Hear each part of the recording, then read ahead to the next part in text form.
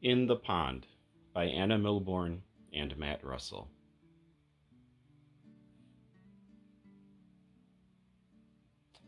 This is the title page.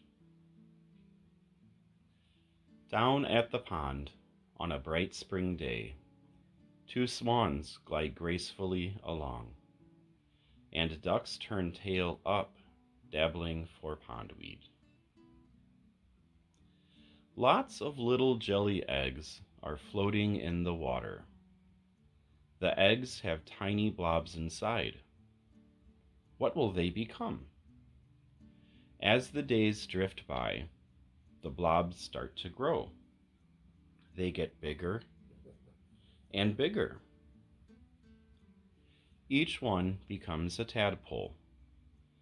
The tadpoles wriggle out of their eggs and squiggle swim away. As the last little tadpole shivers free, a huge dark shadow looms above.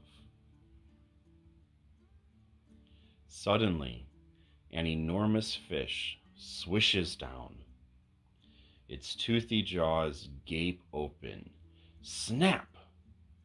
The little tadpole wriggles away just in time.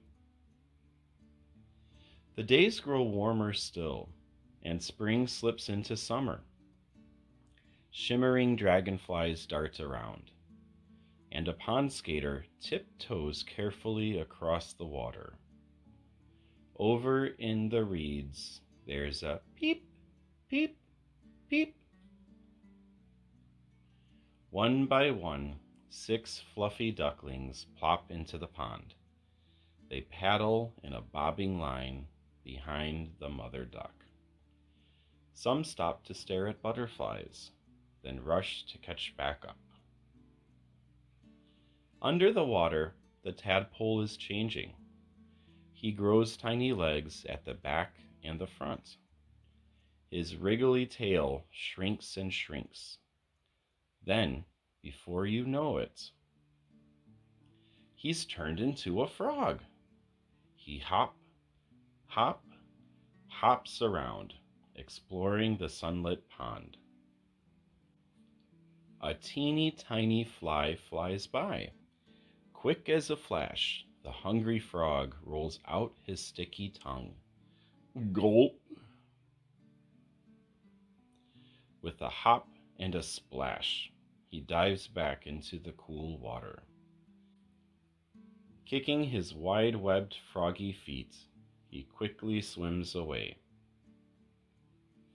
If you come back to the pond one bright spring day, you might find lots more jelly eggs, and the frog, all grown up, singing a croaky song.